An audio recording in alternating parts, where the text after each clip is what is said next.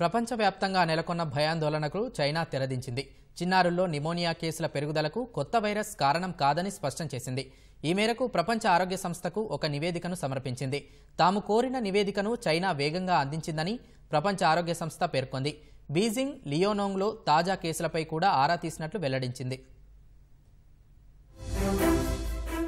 ఉత్తర చైనాలో చిన్నారులు వరుసగా శ్వాసకోశ సంబంధిత సమస్యల బారిన పడటంతో ప్రపంచవ్యాప్తంగా ఆందోళన నెలకొంది. మళ్ళీ కరోనా మాదిరి ఏదైనా కొత్త వైరస్ పుట్టుకొచ్చిందా అనే భయాలు వెంటాడాయి.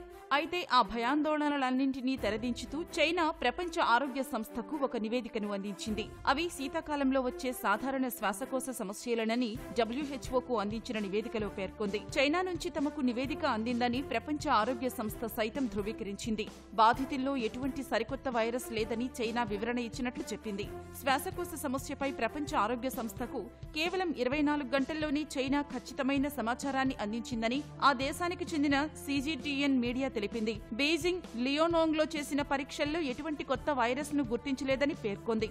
ప్రపంచ ఆరోగ్య సంస్థ గురువారం Chinese centre for disease control and prevention CDC అధికారులతో టెలికాన్ఫరెన్స్ నిర్వహించింది. బీజింగ్ పిల్లల ఆసుపత్రి నుంచి కూడా సమాచారం కోరింది. తాము సిడిసి నుంచి పొందుపరిచిన డేటా ప్రకారం మైకోప్లాస్మాలో ఎటువంటి మార్పు లేదని బీజింగ్ పిల్లల ఆసుపత్రి డైరెక్టర్ ఝావో షన్నింగ్ తెలిపారు. మైకోప్లాస్మా నిమోనియా చైనాలో చాలా ఏళ్ళ నుంచి ఉనికిలో ఉందని చెప్పారు. దీనికి ఖచ్చితమైన రోగ నిర్ధారణ లేదని వెల్లడించారు. కానీ తమకు ఈ చికిత్సలో చాలా అనుభవం ఉందని వివరించారు. ప్రారంభ దశలోనే చికిత్సను అందిస్తే ఎటువంటి ఇబ్బంది ఉండదని పేర్కొన్నారు.